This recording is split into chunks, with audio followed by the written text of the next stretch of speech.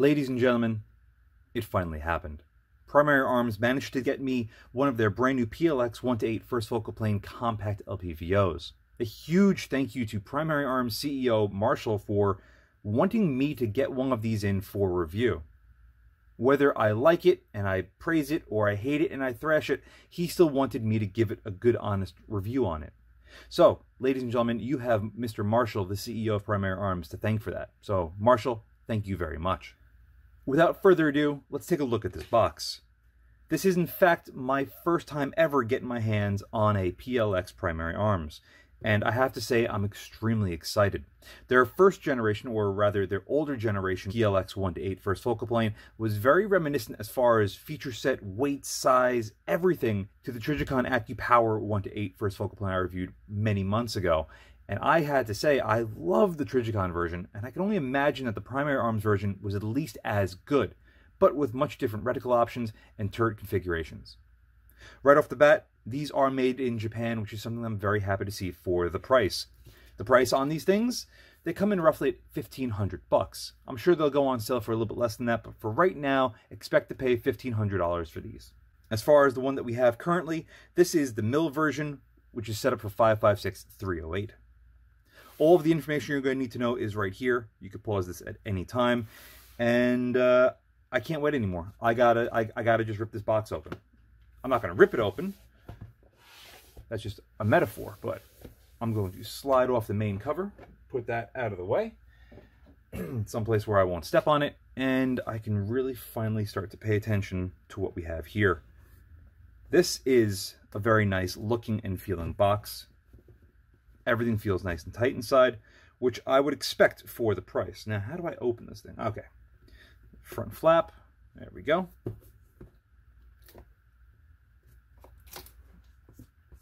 That's a very thick foam pad. Before I even look at the optic, we're, we are going to flip through this reticle overview booklet first. Now, why did I opt for the mil? Only because I'm more conditioned to mils at this point in my life. I studied MOA and used them for a long time before I started reviewing, and once I made the switch to mils, uh, I, I, can't go back. It's it's really a, a, smarter, simpler, and easier to understand system once you get your your foot in the door. Nice booklet. Go over that all you want. Big old cleaning cloth. The actual scope manual, there's a lot of different cool features that this thing is already set up for from the factory, which I really like, because guess what? Options are really nice. Just like the GLX 1 to 6 first focal plane that Kyle had sent in, you can see that we already have two different style turrets. You can run this capped or exposed if you'd like. Again, how many other manufacturers are really offering something like that? Not many. Whew, okay. This appears to be one of the extra turrets. This is full mils, 10 mils per rotation.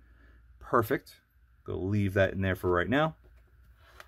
This looks like a sunshade, which is exactly what that is. We have a battery, CR2032 standard, two size Allen keys, and a couple of extra set screws. I don't think there's anything else inside of here. Clearly there's nothing, but look at how well they milled out this foam to fit this optic. Attention to detail so far in this thing is exquisite. Bikini cap on this thing is very nice. Fits on here very tight. Nice, thin, and lightweight. And speaking about lightweight, holy hell. Lightweight is an understatement, folks. 17 ounces for a 1 to 8 first focal plane is quite remarkable. How remarkable? Well, if I take a Trijicon AccuPoint 1 to 4 like I have here and show off its quite svelte 15.2 ounces, including bikini caps, it put that into perspective because the AccuPoint is known for being very lightweight, and this is very lightweight, but this is only a second focal plane 1 to 4. This thing's a first focal plane 1 to 8. That's just nutty. And nutty it feels. This thing isn't just lightweight, it feels like it's really sturdy and built like a tank. But let's find out for ourselves, shall we? Starting at the back, we do have a fast focus eyepiece, which is extremely tight to turn, or at least it was just to get it going. This thing is factory fresh. Get it all the way out. Quarter turn in. Holy cow. That is rock, rock solid. There is zero wiggle.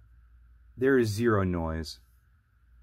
You could hear my wrist cracking as well as the seal gently riding on the outside of this. The knurling on this is proper knurling and it feels fantastic. I know I'm going to be getting ahead of myself, but I'm also very happy to finally see some sort of cohesion between this thing because knurled, knurled, knurled, knurled, knurled, they're all knurled surfaces and they all feel fantastic. Granted, the knurling on the fast focus eyepiece, as you can see, is very fine. As we move up to the magnification ring, the knurling does get a little bit more coarse, but there's nothing wrong with that. 1x at 12 o'clock, 8x at just about 6 o'clock, so 180 degrees of throw, which is completely standard. The knurling on this thing is excellent. You have a great purchase on this thing. You do not have to worry about this thing sliding. Even if your hands are a little sweaty or covered in oils or in my case, hand lotion because my hands are getting just destroyed from the humidity. But again, you could see you grip on there very, very easily. You don't even need a throw lever to turn this thing. You don't even need to pinch this thing that hard. Your, your fingers just grip. It's almost like grip tape on a skateboard. But it, guess what? It includes a really beautifully sized throw lever. This is held on by two screws right there. So you can remove this if you want. If this thing breaks off, you could always replace it. But listen, absolute silence, like it's rolling on ball bearings. Very reminiscent of a Razor HD Gen 2, if not even a little bit better. And I'm not just saying that, because with this texture right here, you don't even need a throw lever, but it's got a throw lever. The Razor HDs do not come with either. On to the illumination control. You can clearly see we have 10 settings with offs in between, and that is pretty nice good amount of resistance to turn it. And the detent is there, but again, very similar with the GLX 2X Prism, I really wish it had a little bit more of a pop to it and it stayed there. Fortunately though, there, this thing requires enough resistance that you probably won't have to worry about this thing getting bumped out of unless you really break it in. The knurling on this thing is super aggressive, the exact same that we find on the magnification ring. And turning this thing, again, even with paraffin wax on your hands, is very easy to grip. And I don't have to worry about losing control of this thing whatsoever.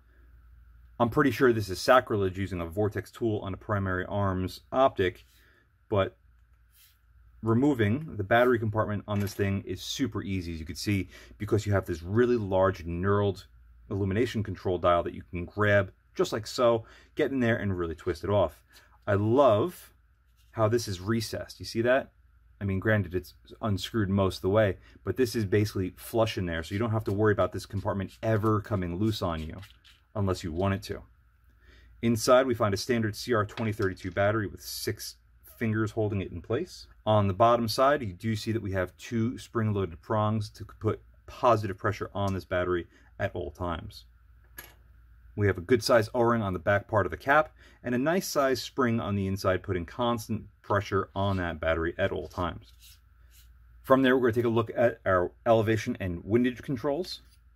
The caps on these things, again, are beautifully knurled. You have tons of purchase on this.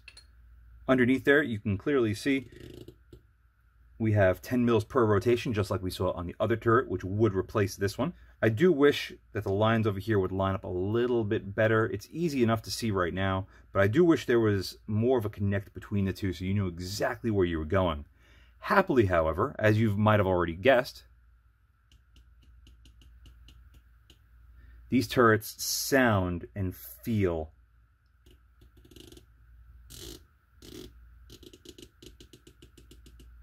fantastic. On the windage, you have your zero mark, and you have your right and your left with arrows. And of course, the turrets are also labeled 0.5, 1R, 0.5, 1L. You can't screw this up.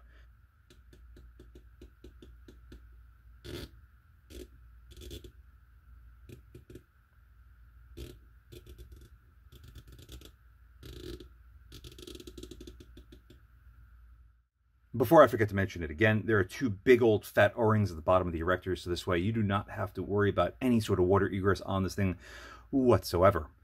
Now, because many of you are probably going to ask, well, how do you just change the turrets on these things? Even though I did it on the GLX first focal plane 1 to 6. Well, very easy. You have three little set screws that clearly get loosened up like so. Line this up at zero. I'm going to snug up this set screw ever so slightly. Let's see if these turrets have improved or not.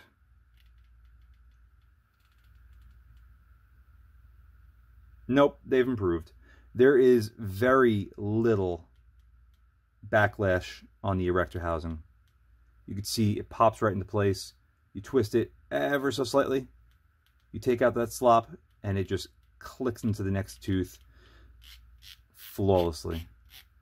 They sound absolutely fantastic. And look, yet again, we have the exact same knurling across everything, with the exception of the eyepiece. The eyepiece is a little bit finer, like I said earlier.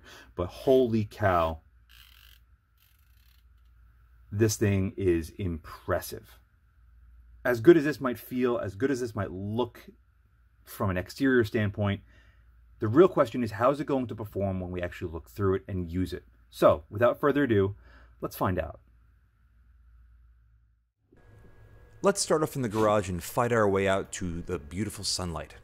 Just like with the SIG Tango 6T first focal plane 1 to 6, if the illumination is too bright in an environment like this, it does reflect back on itself quite badly. Pew pew! As you can clearly see, however, once you tone it down a little bit to a more reasonable brightness given our environment, pew, pew, it gets much better which is nice. It's also nice to see that the illumination gets actually too bright in this sort of environment.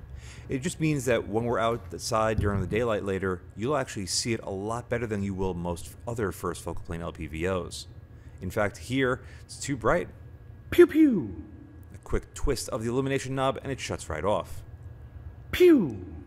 Again, with that illumination knob, the knurling is stupendous.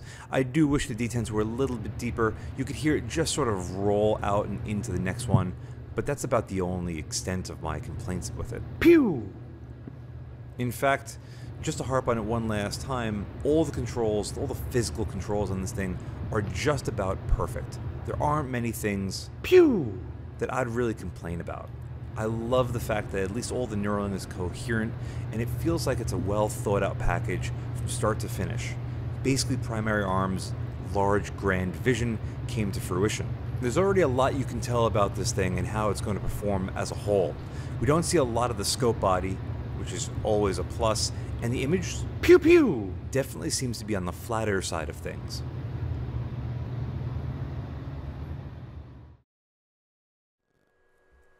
Talking real quick about the reticle, this is the ACSS Griffin MIL M8 reticle. It is clearly in mils, it is clearly in first focal plane, and it is clearly illuminated.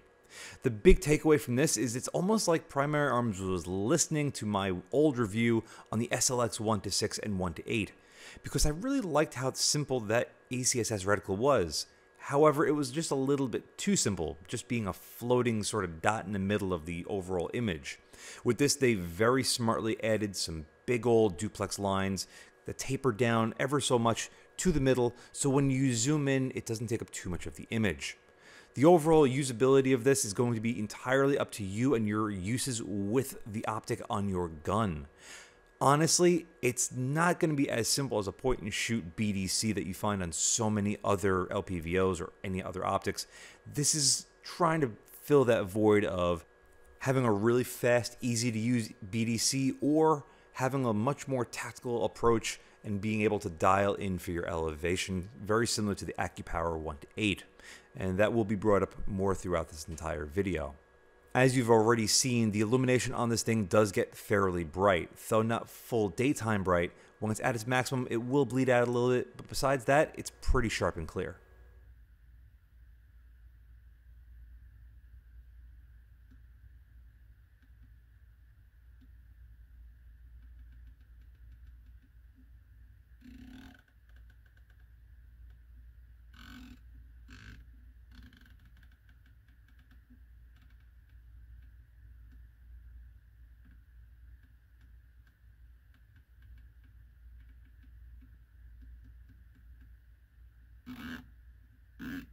These turrets are very nice, way nicer than they need to be on LPVO. But if you plan on using it exposed like this to dial, they're perfect.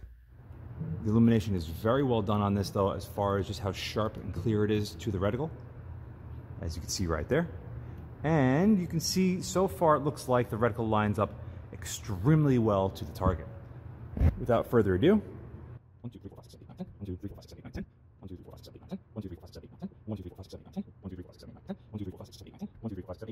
All right, five mils over and up, and we are looking perfect.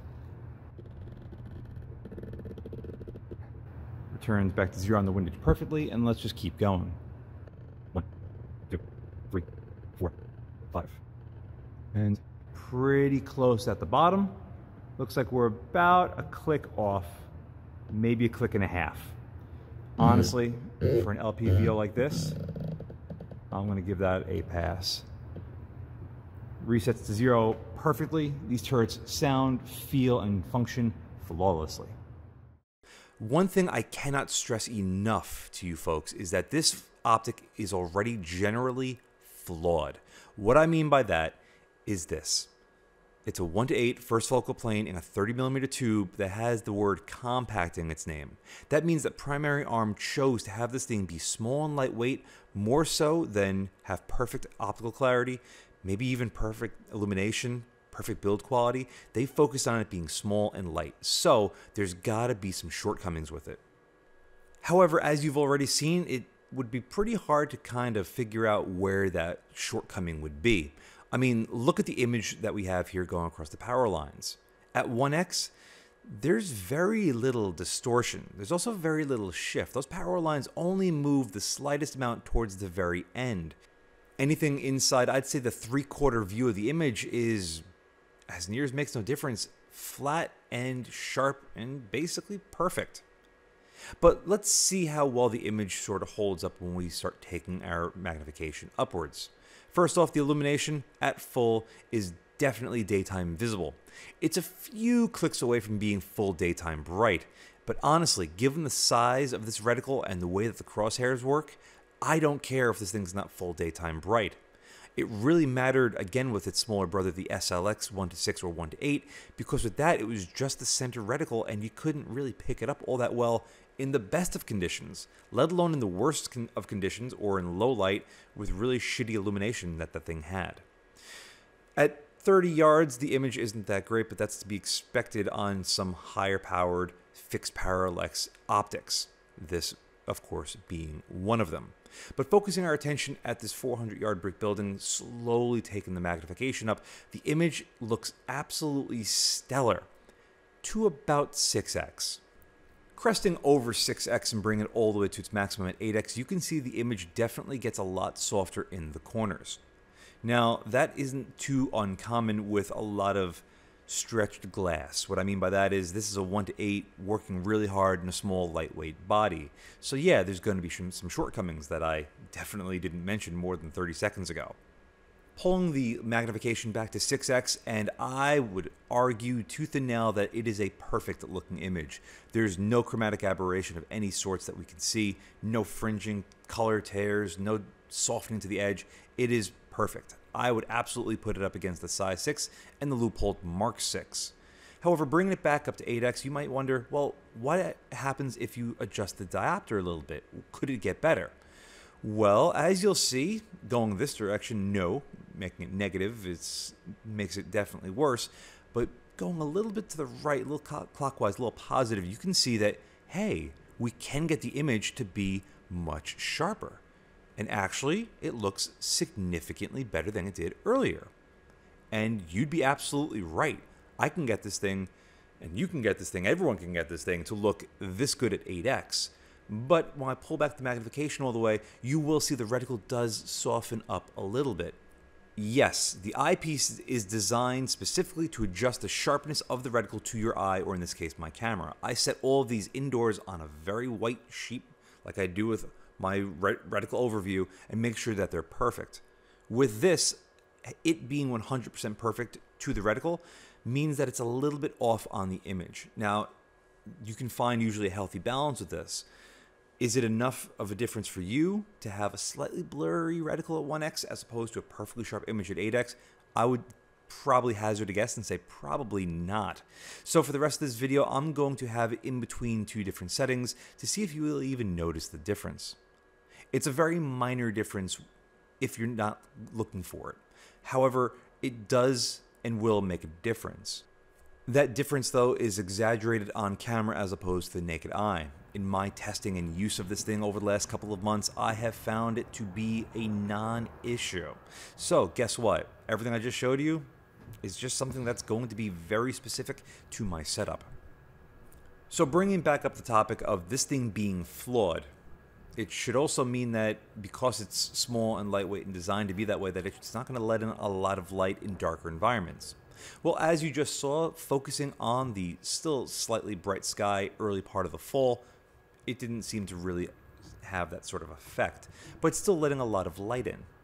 Let's focus now on our 400 yard brick building in suboptimal lighting conditions. But first, let's take the illumination up to its maximum. Here it looks, again, simply superb. I crank it down to like around 4 or so, and it's just a little bit too bright for what I would still need it for. However, paying attention to our image at 8x, it does get a little bit darker, but as near as makes no difference, it's not really that much of a difference. If you're looking to take a shot or focus in on a target at distance, pull the magnification out a little bit and you won't have any issues. This thing manages to capture a lot of light. Let's fast forward now about two months. It's now early November. It is cold, it is wet, and I've had this thing for a long time. The reason why I've had it for a long time is because I really wanted to get to know it. I wanted to have a personal connection with this thing. And the more I pick it up and use it and play with it and show it off, the more impressive it became. Focus will you on the berm in the back and the concrete wall on the left. Unlike this thing's little bastard half brother, the GLX 1 to 6, there is almost no shift in either of them. We still have a very minor soft edge to this thing at the very extremes, but as you'll see, that's going to be dependent on how well you can get behind it. Despite how good this thing is in every other regard, the eye box, as you'll soon see, is probably its weakest link, and that's just again because this thing has got a compact in its name. Illumination here in suboptimal light is more than sufficient, more than bright enough.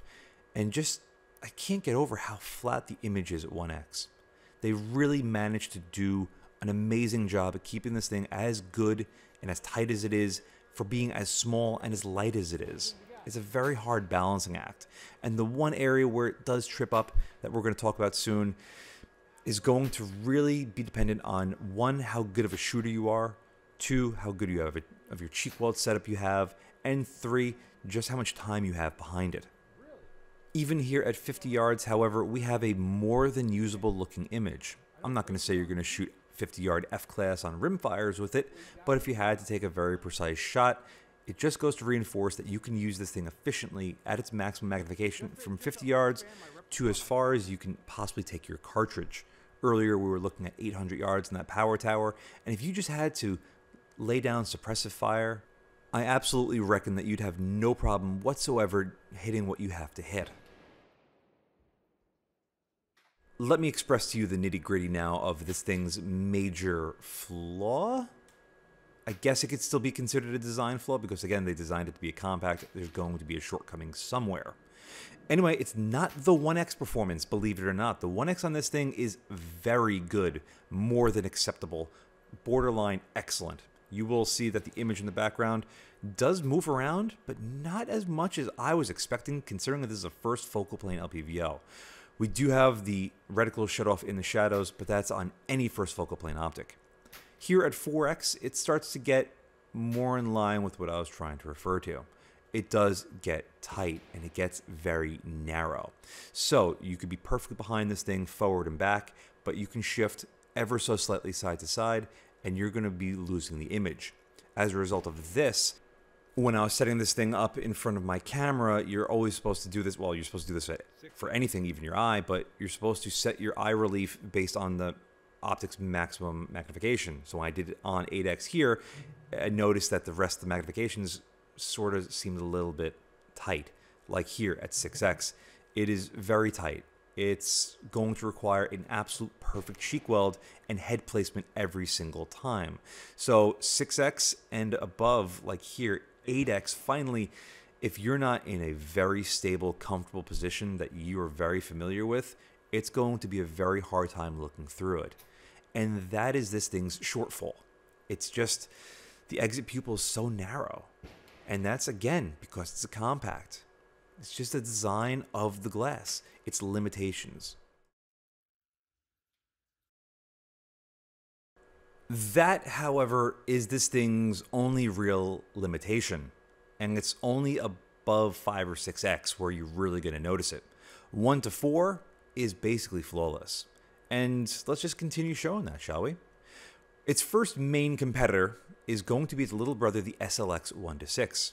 If you're looking for an entry level first focal plane LPVO 1 to 6 that's going to perform better than it ought to, it is the SLX 1 to 6 seen here. It, no joke, has at least the optical clarity of the PLX-C from 1 to 6, and it's got an eye box that's more reminiscent of a second focal plane LPVO, meaning that it's fairly big, open, and forgiving.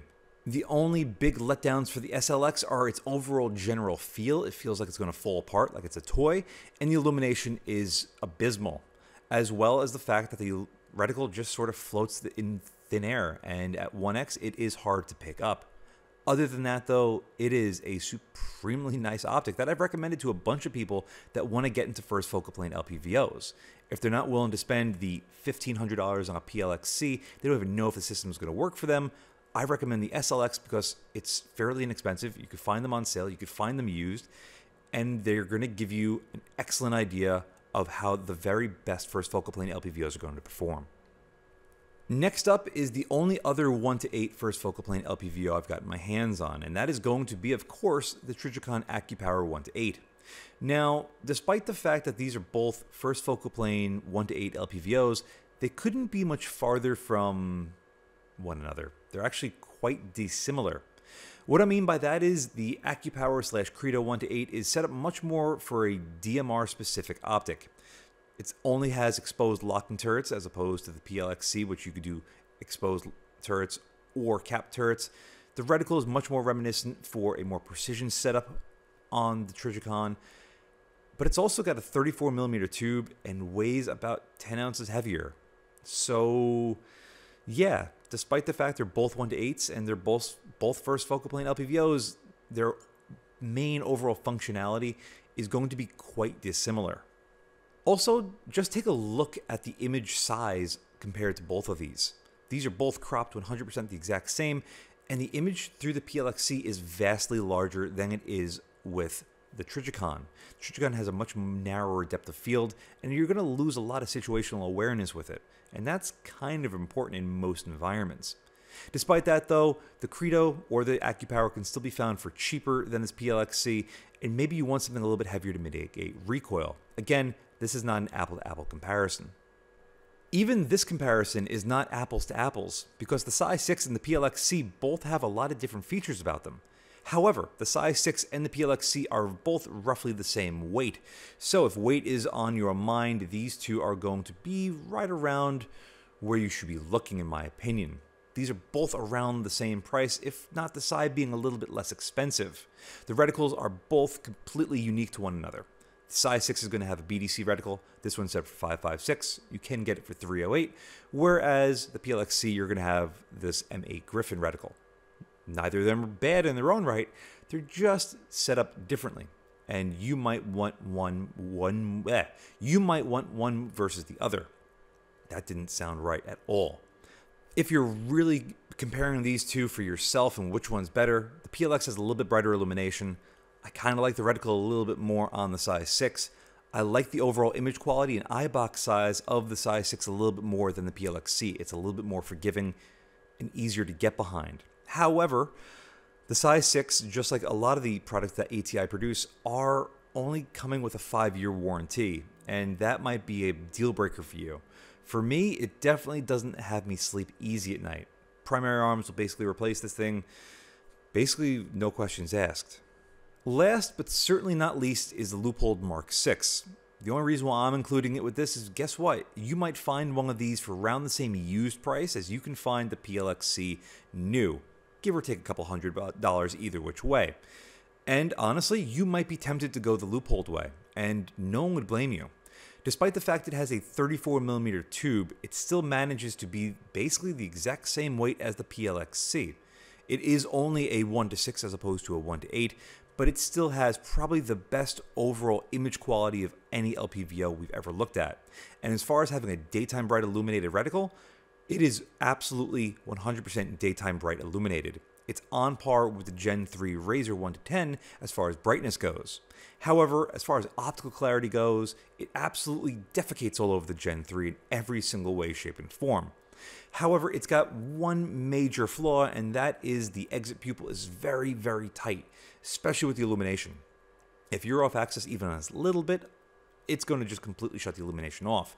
So if that's a deal breaker for you, definitely look elsewhere.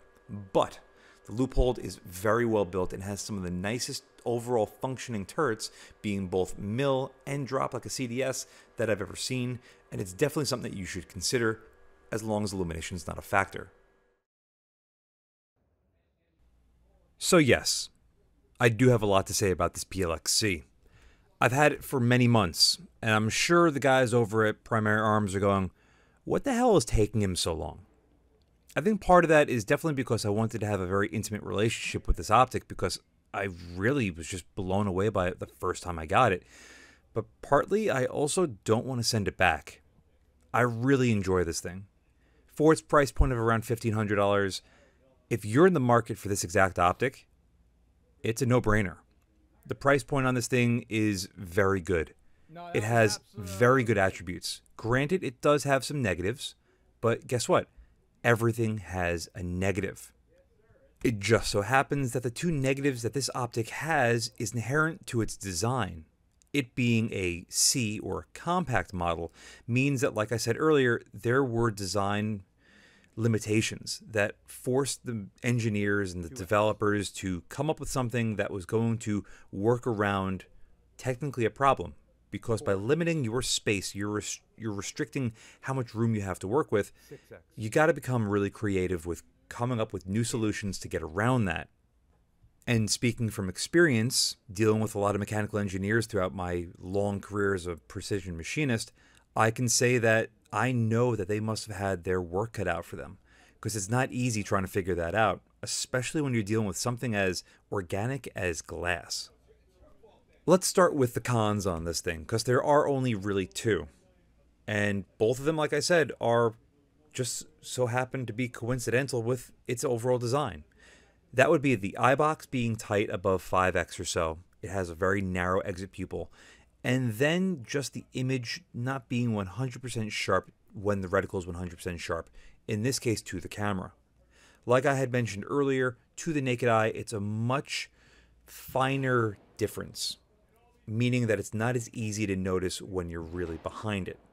My camera setup is very rigid in every regard, so thus it really puts an emphasis on any sort of small imperfections on any optic, which is great in a sense because it only helps to really showcase it. Another very important thing to remember is this is only a serving size of one. I only ever got one optic to look through, and odds are I probably won't look through another one of these in person for a very long time. So you might get one that's better, or you might get one that's worse. The nice thing is, Primary Arms with their lifetime warranty, I bet if you have a problem with yours, even if you don't like how the image looks, I bet they'd be willing to look at it for you to ensure that you're very happy with it. And you know what? That actually brings up another good point. Marshall and the guys over at Primary Arms wanted to send this in for me to review it. That means that they trust their product to be good enough for it to get a good review. Because if it's not good enough to get a good review, I would let you guys know. And perfect case in point, their GLX 1 to 6 first focal plane was a real disappointing letdown.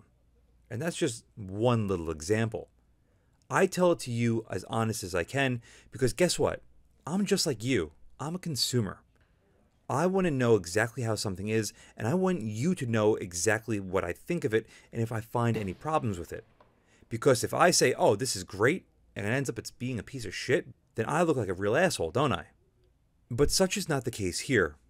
Primary Arms believes in this product so much that I was going to give it a good review because of how good it is. So, if they're capable of standing by their product, then that's something I can absolutely endorse. It sets out and does what it was designed to do be a lightweight, compact 1 to 8 first focal plane with great controls, really good glass that just works. And you know what? They absolutely hit the nail on the head with this one. To Marshall and the men and women of Primary Arms, keep up the good work. You guys are absolutely crushing it with your products lately. Between this, the SLX Micro 1X Prism, the GLX 2X, and a couple of other things in between, it's really awesome to see that you guys are bringing out such innovative optics for the market at many different price points. It's only making the world a better place. And if I could pretty please, pretty, pretty, pretty please beg for an optic to be made from you guys, can you please make like a 1.5 to 10 or 2 to 12 PLX? That would just be amazing. So, Marshall, thank you so much for letting me experience this. To all of my wonderful viewers out there, thank you so much for lasting the whole 36 plus minutes that this review was. I hope it was worth it because I put a lot of time into this thing. Anyway, thank you all very much for watching. As always, see you again next time. And a huge thank you to my Patreon providers and my SubscribeStar subscribers. Without you, this truly wouldn't be possible. If you'd like to support my channel but don't want to join either of those, I completely understand. But you could still help by using my affiliate links in the description below and or like, share, and subscribe as always. Again, thank you very much.